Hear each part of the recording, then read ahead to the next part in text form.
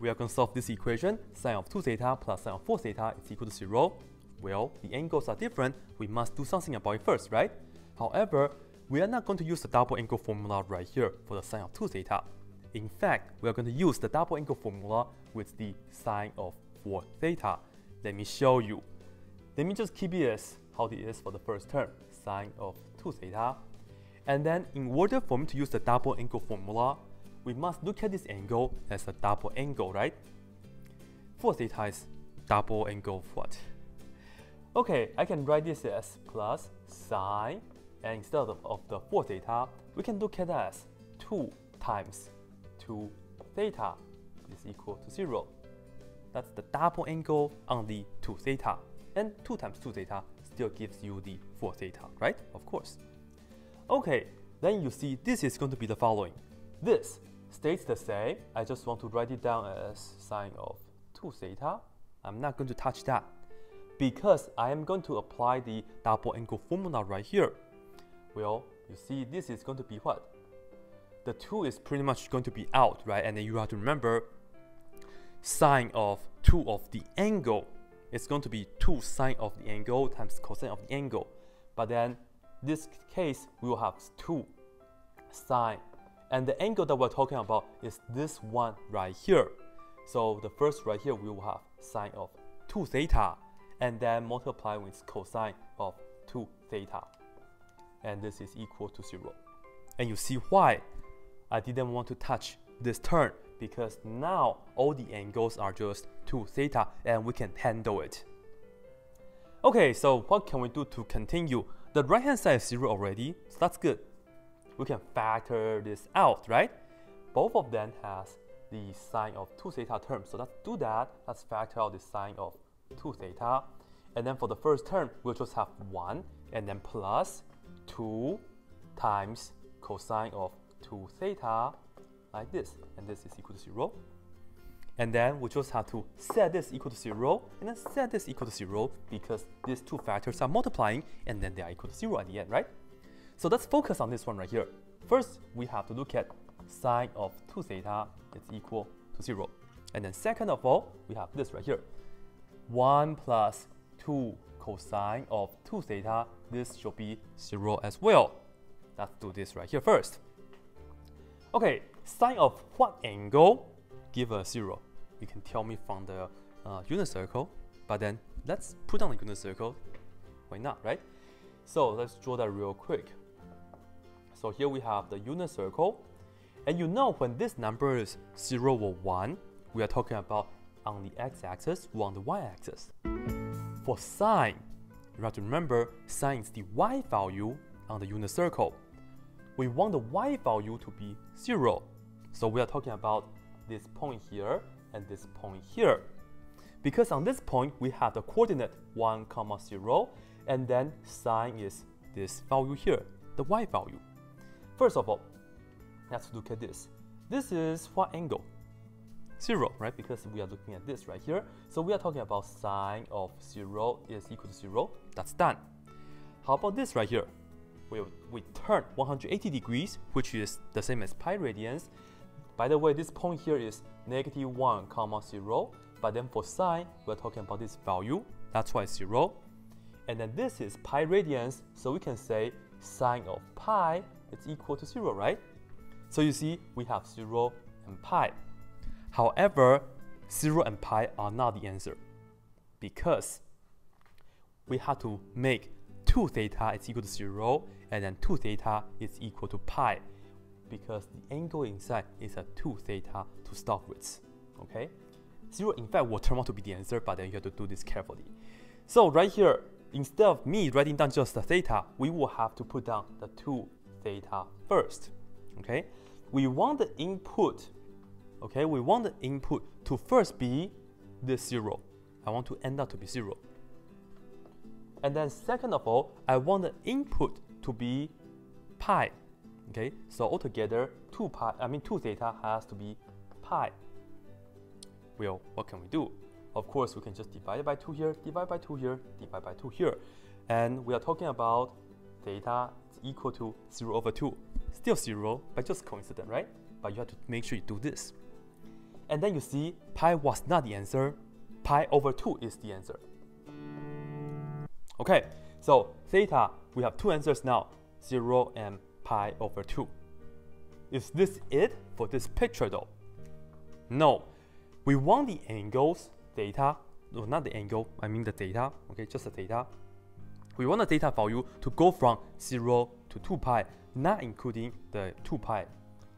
When you have 2 theta is equal to 0 in this situation, we have to go around the circle twice. Okay, we have to go around the circle twice. Okay, so right here, you see, we write down sine of 0 is equal to 0, but then if you turn around, we will end up with sine of 2 pi, right? So I can also tell you sine of 2 pi is equal to 0.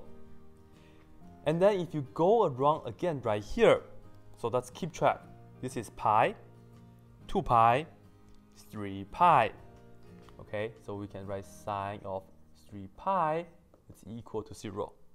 I'm not going to go right here and say 4 pi because 4 pi divided by 2 is exactly 2 pi and then from the equation we don't want exactly 2 pi, okay? So we have these two values to consider and I want the 2 theta to end up to be 2 pi. I want 2 theta to be end up to 2 pi. But then I want theta to be what? After we divide it by 2, well, we end up with pi.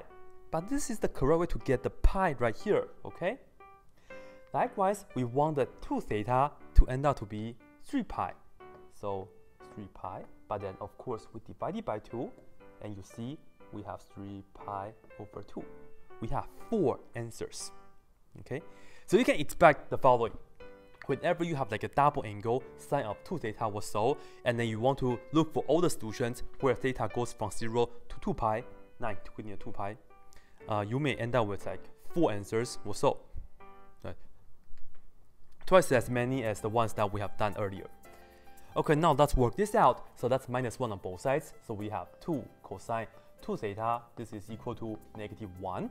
And then we divide both sides by 2. So we have cosine of 2 theta this is equal to negative 1 over 2, right? And how, what can we do? Well, once again, let's draw the x and y axis, and then let's talk about how to construct the triangle. Because this time, we have a fraction right here. It's not 0, it's not 1, so we can draw triangle in sine-cosine situations. Okay, cosine is what? x over r so we are talking about x is being negative 1. That means we are talking about right here. Right? This is negative 1. And r is 2, right? So that means the hypotenuse right here is 2. And then we can draw a right triangle right away, isn't it? And you know this side right here will be positive square root of 3.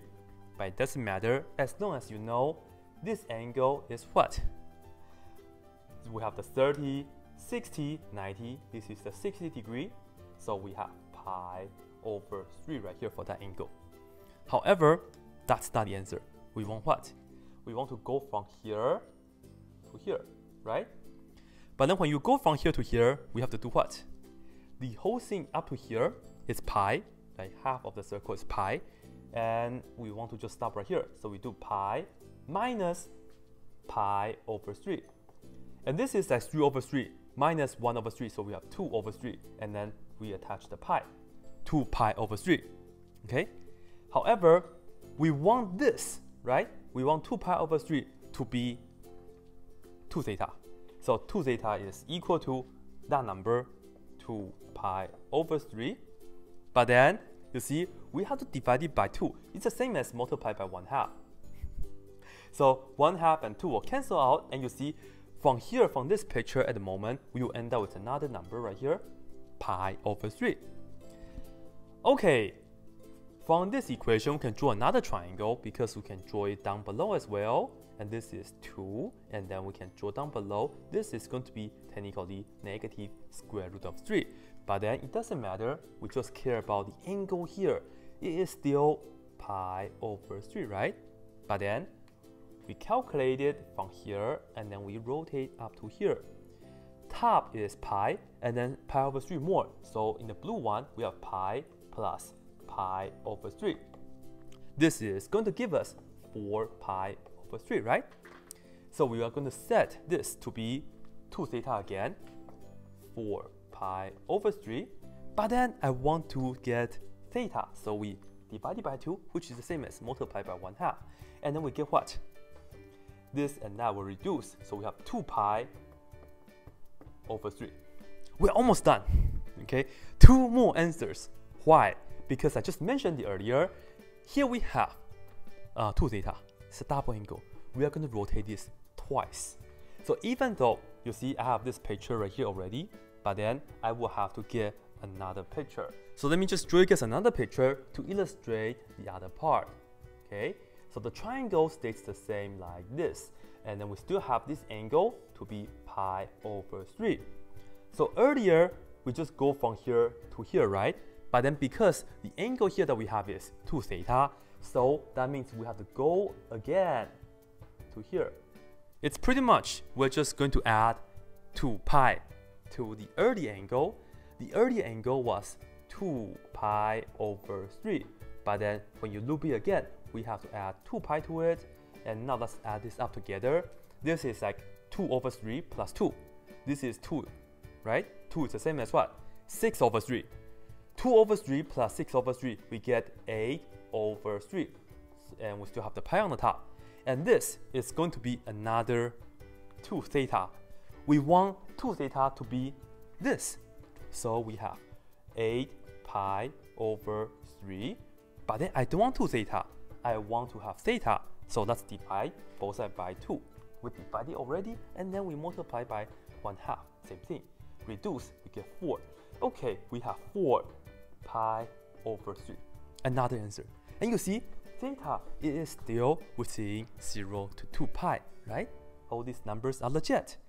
One more, because we still have this triangle down here, right? So let me reproduce that here. The angle here is still, of course, the same, pi over 3. And earlier we just go from here to here, the blue one, which let me show you like this.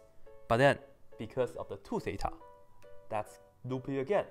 So just loop it again to here. Okay? So for the blue one, we are just going to have the earlier angle, which is 4 pi over 3. And then we add 2 pi to it. So I just want to show you guys all the pictures to illustrate all the ideas. That's all. And later on when you get used to it, you may not need to draw this picture. You can just add 2 pi. But then, I think this is more clear. Anyways, enough talking. This is 4 over 3 plus 6 over 3. 4 plus 6 is 10 over 3, right? The denominator, and then we still have the pi. And this is going to be another 2 theta. 2 theta equals to that. So 10 pi over 3, but then we don't want 2 theta. That's divided by 2 over there, and then multiply by 1 half right here. Reduce, reduce, we get 5. So 5 pi over 3. How many answers do we have? We have a total of 8 of them.